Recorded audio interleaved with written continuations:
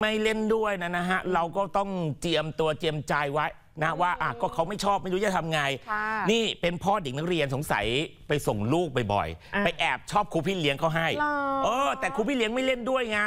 สุดท้ายยังไงรู้ป่ะอืมส่งรูปปืนไปข่มขู่เขา เฮ้ย ได้เหรอ สุดท้ายครูเนี่ยฮะกลัวตาย ต้องรีบไปแจ้งความกับตำรวจเลยครับ ที่เห็นอยู่นี้นะครับก็คือครูบีนะครับเป็นครูพี่เลี้ยงอยู่ที่ศูนย์พัฒนาเด็กเล็กแห่งหนึ่งนะครับที่สมุทรปราการ ไปแจ้งความร้องทุกข์ที่สพพระประแดงครับ บอกว่ามีพ่อของเด็กนักเรียนคนหนึ่งนะครับอายุ 45 เป็นชาวเมียนมาส่งแชทไลน์ส่วนตัวนะครับ เป็นข้อความเชิงชู้สาว หวังจะมาจีบครูอะแต่พอหนูไม่เล่นด้วยนะครับเขาก็ส่งรูปปืนมาให้ดู โอ้ยกลัวว่าเขาจะมายิงตายไงอืมล่าสุดเมื่อวานนี้ประมาณช่วงบ่ายโมงครึ่งครับตำรวจสพพระประแดงนะครับ ก็ไปเจอตัวนะครับ คนที่ส่งรูปปืนไปให้คุณครูบีแล้วนะฮะเป็นพนักงานประจำสนามกอล์ฟอยู่ในซอยสุขสวัสดิ์76 ครับ เชิญตัวมาสอบสวนกันนะครับนี่ครับ ตัวหนุ่มคนนี้ก็สารภาพบอกว่าที่ผมทำไป เพราะว่าผมแอบชอบครูบีนะ เวลาไปส่งลูกสาวไปเรียนเนี่ย เจอกันทุกวันเพราะสายตา มันจ้องมองกันเนี่ยมันก็ปิงปังขึ้นมาไงนะมันเป็นธรรมดานะ บางทีอ่ามันก็เลยทำให้คุณพ่อนะฮะบางคนชอบไปส่งลูกที่โรงเรียนอ๋ออยากไปส่องครูเนี่ยคุณติ๊กมันก็คงไม่ใช่ทุกคนหรอก เอาตัวเองมาพูดอีกแล้วนะเอ้ยโอ้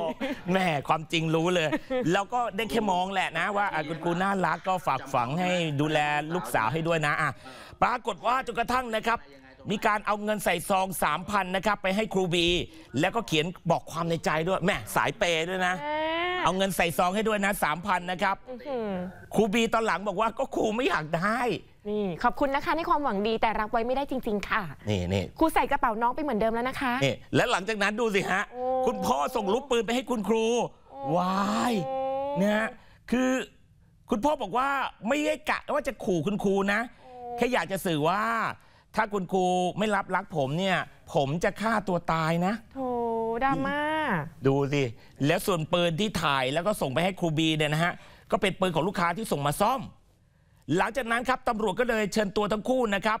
มาไกลเกลี่ยข้อพิพาทกันอ่าคุณพ่อนะครับก็ยกมือขอโทษครูบีทั้งน้ำตาเลยนะฮะ ส่วนคุณครูเองก็แบบว่าไม่ติดใจอะไรอะ ค่ะอืมล้อเล่นไม่เข้าเรื่องคุณพ่อ โอ้ไม่รู้ไง แล้วที่บอกว่าแหม่ ส่งรูปปืนไป ถ้ากูบีไม่รับรักเนี่ยจะฆ่าตัวตาย พูดจริงพูดเล่นก็ไม่รู้นะ แต่พอตอนนี้อยู่ต่อหน้าตำรวจก็นั่งหน้าจ่อยกันไปเลยครับครูบีบอกนะครับบอกว่าดีใจที่จับคุณพ่อของเด็กนักเรียนคนนี้ได้นะครับ แล้วคุณพ่อก็ขอโทษรับปากบอกว่าไม่ทำอีกแล้วนะครับ แต่ครูบอกว่าอุ้ยนี่ครูยังกลัวอยู่เลยนะ ยังระแวงอยู่เลยครับ ถึงแม้ว่าไม่ติดใจเอาความอะไรก็ตาม แต่ขออย่างเดียวนะ คุณพ่ออย่าทำอีกนะแบบนี้นะ ทางด้านคดีครับตำรวจบอกว่าก็คงจะต้องดำเนินคดีกันต่อไปฮะแล้วก็ทางผู้ในวยการได้ประสานเจ้าที่เทศกิจเนี่ยให้มาดูแลความปลอดภัยครูบีแล้วด้วยนะฮะอะไปฟังเสียงครูบีนิดนึงครับ ดีค่ะที่จับได้แล้ว อืมอะแล้วเขาคุยอะไรขอโทษอะไรเราบ้างไหมขอโทษแล้วค่ะ อืมก็บอกว่าจะไม่ทำอีกอืมแล้วทางป้าป้าๆน้านาเขาว่ายังไงบ้างอะป้านานาก็บอกว่าอย่ามาทำอีก อืม ก็คือแบบไม่ติดใจเอาความอะไรแต่ว่าอย่ามาทำอีกอืมส่วนตำรวจก็ดำเนินคดีไปใช่ค่ะอืมแล้วทีเนี้ยทางที่ศูนย์น่ะเขามีมาตรการยังไงไหม อ่าทางพอก็ได้แจ้งกับเทศบาลค่ะว่าจะให้เทศกิจมามาดูแลความปลอดภัย ใช่ค่ะอ๋อมาดูแลความปลอดภัยให้เราใช่ค่ะอืมวันนี้เราหายกลัวแล้วหาหายกลัวแล้ว แต่ว่าแบบก็ระแวงอยู่ว่าเขาจะคิดอะไรอีกหรือเปล่า นี่คุณครูสวยไงเห็นไหมค่ะดูสิฮะคุณพ่อจ่อย สุดท้ายตำรวจบอกว่า มันก็ต้องแจ้งข้อหานะคุณพ่อนะ ถึงแม้ว่าคุณครูเขาไม่ติดใจเอาความอะไรนะครับ ก็แจ้งข้อหาก่อความเดือดร้อนลำคาญแล้วแล้วก็ปรับไป 1,000 บาทนะ ก็รับปากบอกว่าจะไม่ทำอีกแล้วนะอื